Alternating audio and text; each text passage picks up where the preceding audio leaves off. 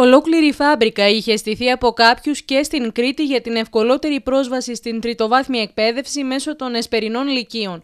Πλουσιόπεδα προσλαμβάνονταν εικονικά σε φιλικές τους επιχειρήσεις, ώστε να μπορούν να εισαχθούν άνετα σε δημοφιλείς και υψηλόβαθμες σχολές, όπως η νομική και η ιατρική, με βαθμούς πρόσβασης της τάξης του 13 και του 14. Δηλαδή, βλέπετε, η τάση του Υπουργείου τους τελευταίους μήνες είναι σε όλα τα επίπεδα να μπορέσει να εξορθολογήσει τέτοιου είδους διαρροές και τέτοιου είδους ας πούμε θα λέγαμε ε, έτσι περιπτώσεις οι οποίες είναι έξω από τις ε, μαθητικές ανάγκες γιατί τα άτομα αυτά δεν δικαιούνται να βρίσκονται μέσα στα νυχτερινά σχολεία. Την αδικία αυτή προσπαθεί να εξαλείψει το Υπουργείο Παιδείας, το οποίο στοχεύει στο να διασφαλίσει ότι θα φοιτούν πλέον στα εσπερινά λύκεια μόνο όσοι πραγματικά το δικαιούνται, καθορίζοντας με εγκύκλιο τα εισοδηματικά κριτήρια για τις εγγραφές και τις μετεγγραφές.